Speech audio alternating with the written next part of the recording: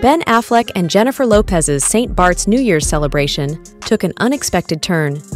During a shopping spree in Gustavia, St. Bart's, the power couple was observed having a heated argument. They browsed upscale stores, concentrating on Bulgari jewelry, while the drama played out. As JLo and Ben looked at Bulgari items, they ventured into the world of luxury. Ben assisted Jennifer in trying on the pricey jewelry during the shopping excursion, but Ben became agitated and displayed signs of exasperation.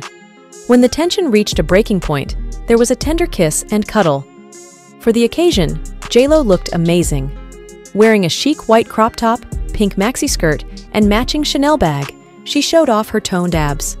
The actress and singer elevated the shopping experience with a dash of glitz, demonstrating that even acrimonious debates won't lower her style standards. The couple threw a star-studded party at their house to celebrate the holidays before the drama surrounding their shopping. Stars like Michael B. Jordan and Margot Robbie attended the joyous event. The mansion was decked out for the holidays with a large tree and festive decor.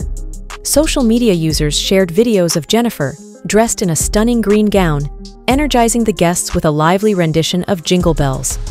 Jennifer Lopez recently disclosed in an open interview that she and Ben Affleck are still dealing with the fallout from their early romance.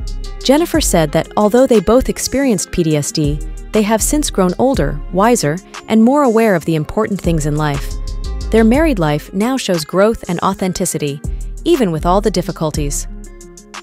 As she prepares to release This Is Me.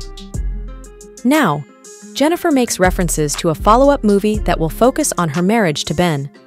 An additional dimension to their already vibrant relationship, the project promises a peek into their life together,